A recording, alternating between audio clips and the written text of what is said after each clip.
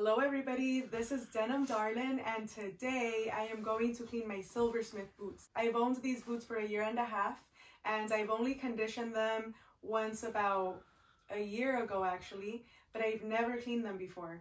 It's about time. This leather does require very little maintenance. The copper rough and tough leather is saturated in oils and it's one of those leathers that's known for going long periods of time without having to condition it. And that's one of the reasons that this leather is so popular. This is my all-time favorite boot. I have about close to 30 boots in my collection. And if I had to choose just one boot, this would be it. It's gorgeous. Before I get too much into my boot cleaning video, I want to talk about the Carol. So as y'all might remember, a few months ago, I purchased the Carol and Oro Legacy Leather. I did an unboxing video on them. And I had purchased those in a size 6, which is my usual size in most Red Wing boots. And what I found with that pair of boots is that it turned out to be a little too roomy for me. So for being a brand new pair of boots, the moment I put my foot in to both boots, there there was already plenty of wiggle room and lateral room, so on the sides of my foot. And what you should be feeling in a pair of boots is that they hug your foot. There's a nice hug, a nice warm hug. Shouldn't be squeezing you. Usually if they're squeezing you and it's uncomfortable from the beginning or if you feel numbing on your feet, they're too small. So those boots were a little roomy, so I rehomed them to a good home. And I took a chance and got another pair of the Carols in a size five and a half. Now, I don't own any five and a halfs in boots.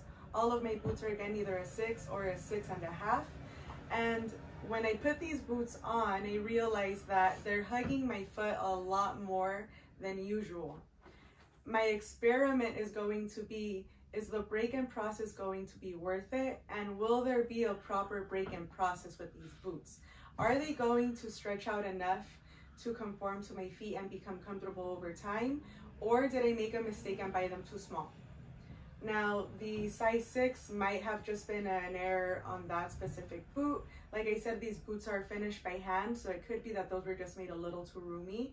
Maybe I should have tried another size 6 and that would have been okay, but I didn't.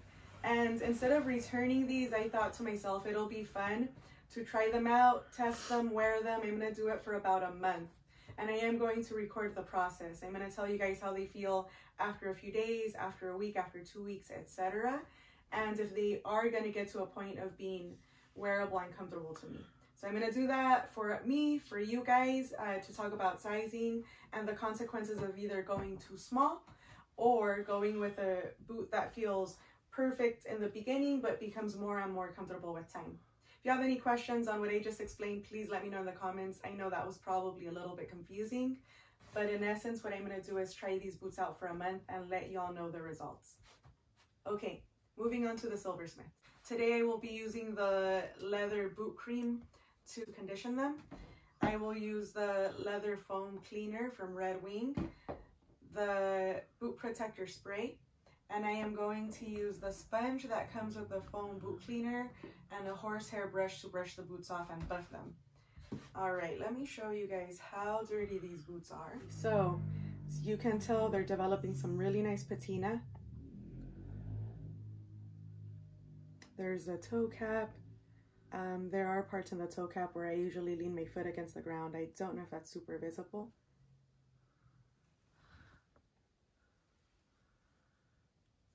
This is the boot. It's uh, conformed really, really nicely to my foot. This boot is so functional. It goes with every outfit. I can put this boot to work. I beat it up a lot there are some scuffs to it. Something I've noticed about this boot, if y'all look at images of boots, of silversmith boots that are worn, is that this pull tab often sags down, and I hate that. I absolutely hate that. It bothers me so much, so I've made an effort to keep this tab up.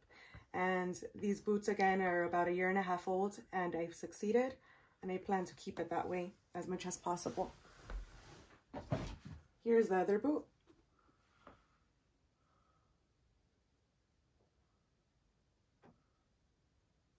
So what I'm going to do is I am going to clean off as much dirt as I can. And then I am going to condition them. What I love about the leather boot cream is that it won't affect the color of these boots very much. And it's very important to me that I keep the copper, the copper rough and tough color.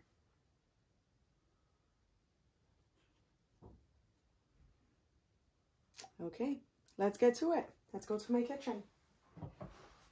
Alrighty, everybody, we made it to my kitchen. I am going to get started on cleaning these boots first. I am going to fill this container with warm water.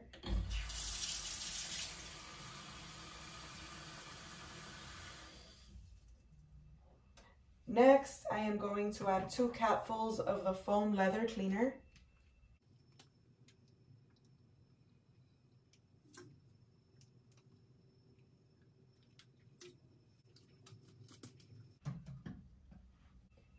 Going to grab the sponge and agitate the solution.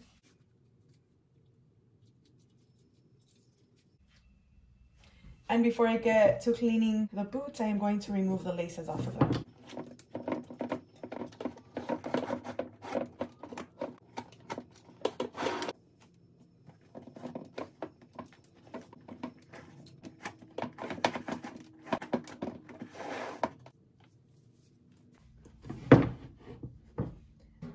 Next, I am going to brush both boots. I'm going to take the debris off of them. Any dust, anything on the welt, I want to brush off.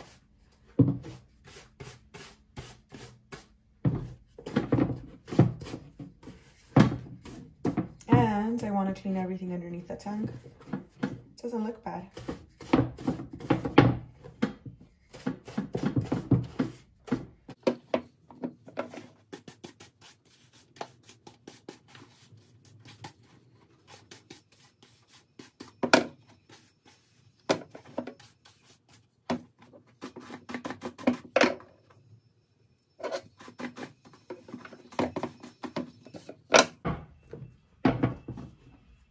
All right, I'll start with the left boot.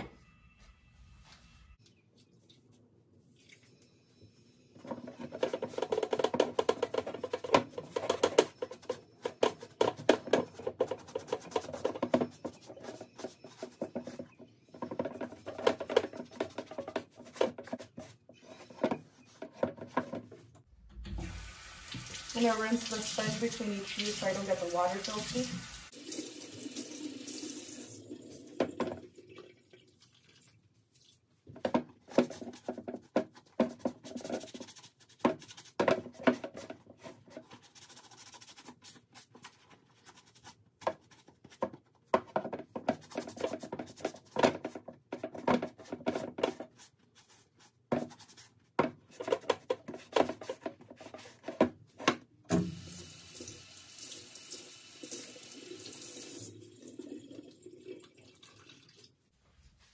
I'm gonna go over them a second time.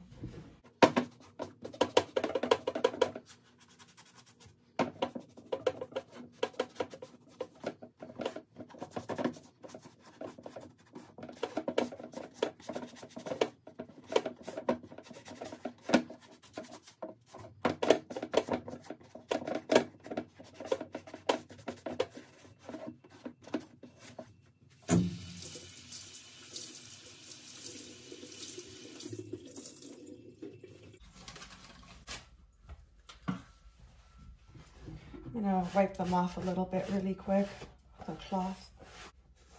And then I'm gonna let them finish air drying.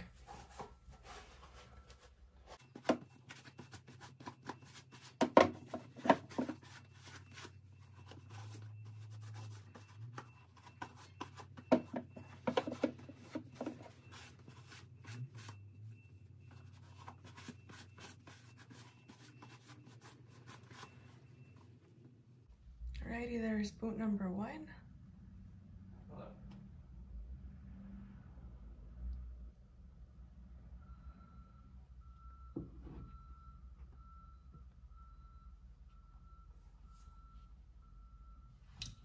And here is a comparison with the other boot, so you can see a difference.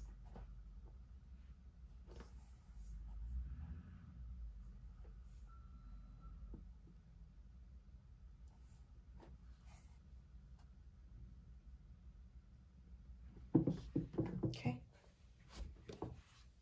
Now repeat the process with the second boot.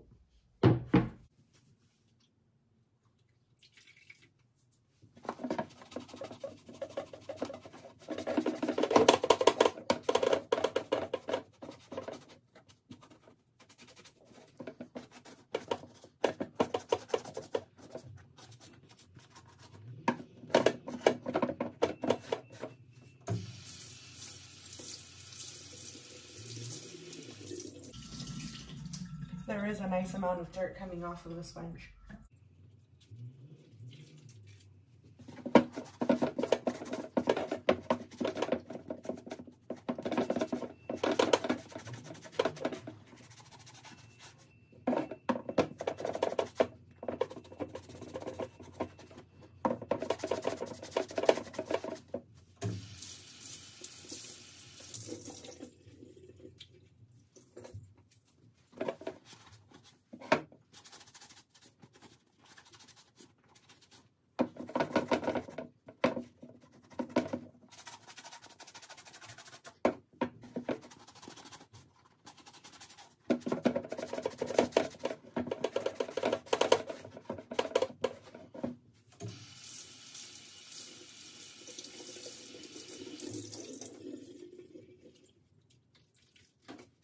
I'm gonna do it a second time.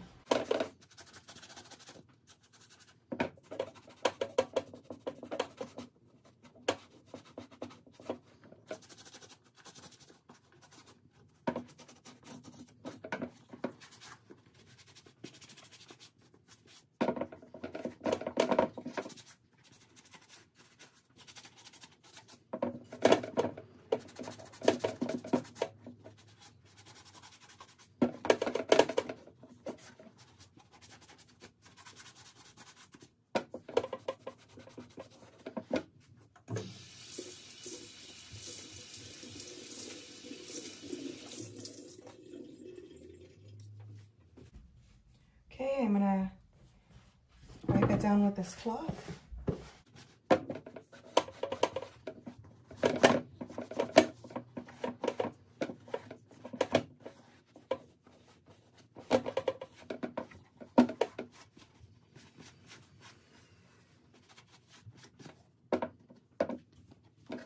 Here are both boots side by side.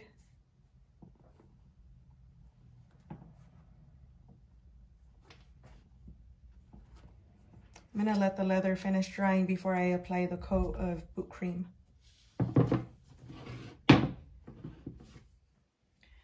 Okay, both boots are dry, so I'm gonna start the conditioning process. And again, I am using the leather boot cream, which doesn't darken leather, and I don't want my copper rough and tough boots to become darker. I really love this leather a lot. I'm gonna use my hands. Some people like to use a cloth, some people like to use a dauber brush. I like to use my hands because I feel like I use up less product and like I have more control of the application process. A little bit goes a long way with these products.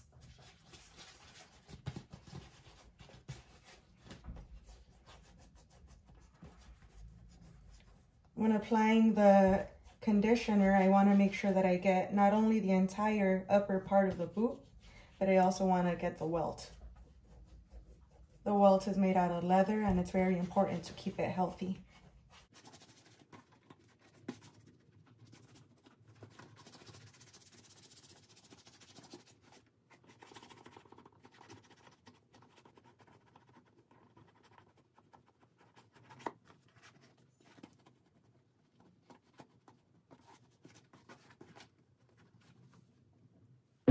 You always want to get the tongue of the boots also.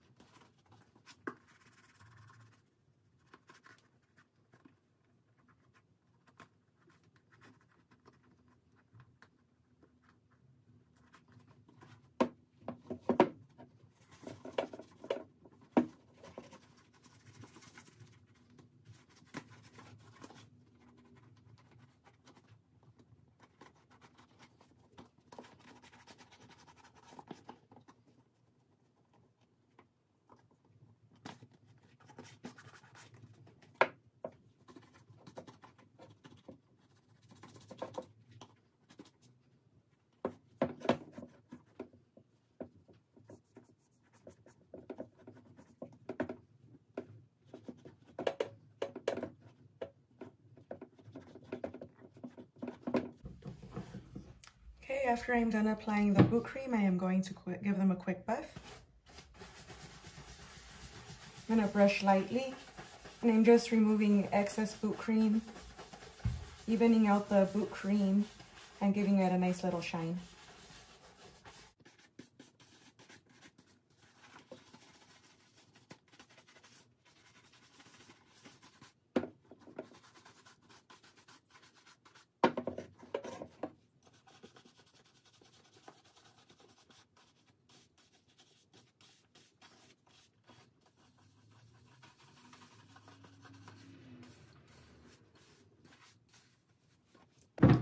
Okay, let show you the difference between boot number one and boot number two. So this is the boot that's been conditioned versus the boot that has not. And conditioned.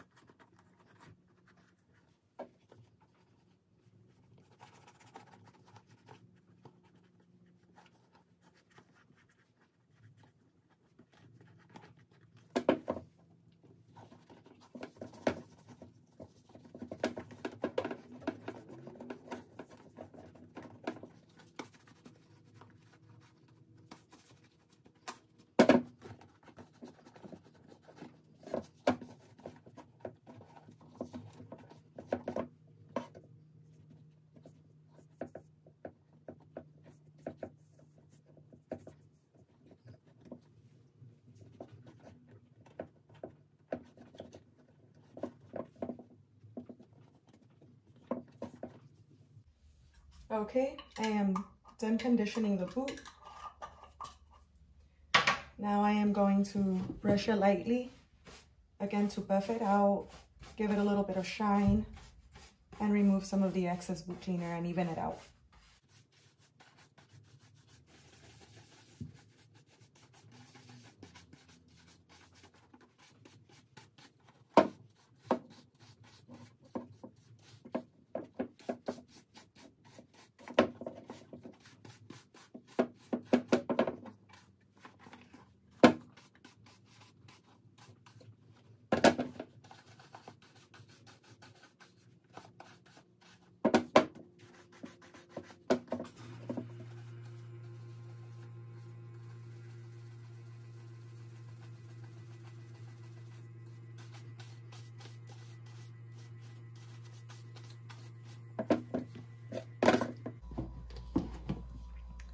There you go.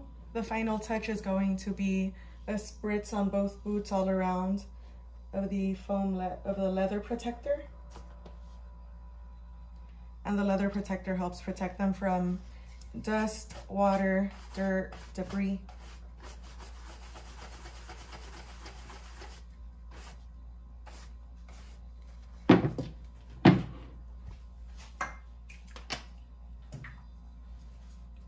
So this says, use in a well-ventilated area away from heat and flame. Shoe should be clean and dry. Hold bottle six to eight inches from shoes and spray over entire surface. Allow to dry before wearing.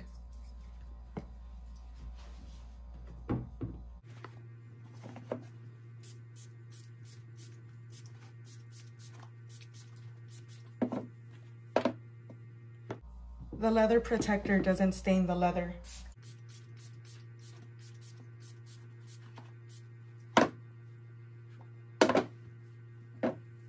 Okay, these are ready. I'm just gonna put the shoelaces back on.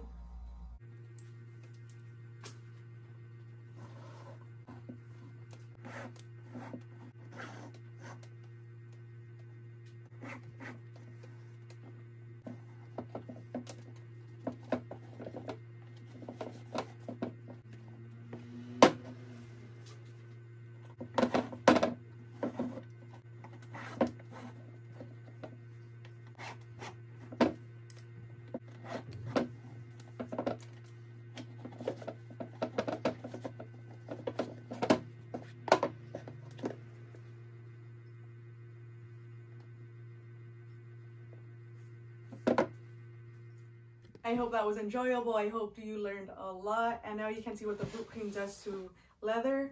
It doesn't darken it much. Um, just keep in mind that initially the boots are going to look darker. After a few days, they will lighten up dramatically. Thank you very much for watching. This is Denim Darlin. If you haven't done so yet, please subscribe to my channel. I plan on posting more videos that I hope you all find of value. Thank you very much.